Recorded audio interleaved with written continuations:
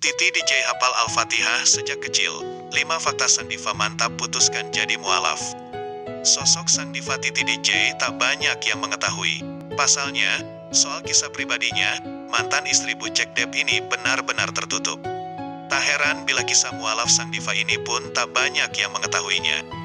Berikut deretan fakta menarik di balik keputusan pelantun Sang Dewi itu memutuskan menjadi mualaf berikut ini. 1. Hafal Al-Fatihah sejak SD.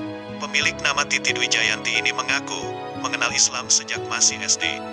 Kala itu, dia yang masih beragama Kristen mengikuti pelajaran agama Islam karena enggan kepanasan di luar kelas. 2. Damai dengar suara azan. Ketika beranjak remaja, pelantun bahasa kalbu ini merasakan ada yang berbeda dari dirinya setiap mendengar suara azan. Dia merasa tenang setiap kali mendengar azan berkumandang. Setelah saya besar, mendengar suara azan itu kok enak ya? Kok kayaknya adem gitu? Merdu. 3. Mantap jadi mualaf. Titi DJ kemudian mulai belajar agama Islam hingga akhirnya menjadi mualaf pada 1995. Ya sudah, akhirnya saya ke masjid dan mengucapkan syahadat, terus dapat surat mualaf.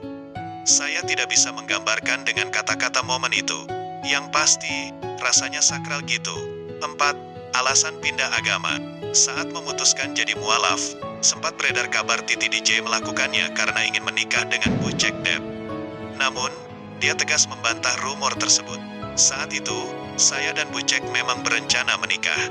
Tapi, saya masuk Islam sebelum menikah dan dia pun tidak pernah memaksa. Keinginan itu ya datang dari diri sendiri, tuturnya. 5. Setia pada iman Islam. Sayang, rumah tangga Titi DJ dan Bucek Dep tak berlangsung lama.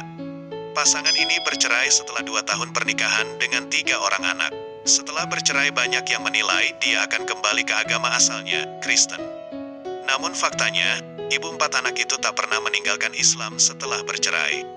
Bahkan ketika menikah lagi dengan bule Amerika Serikat, dia justru menikah secara Islam pada 1999. Selama 27 tahun, Titi DJ tetap setia dalam iman Islamnya.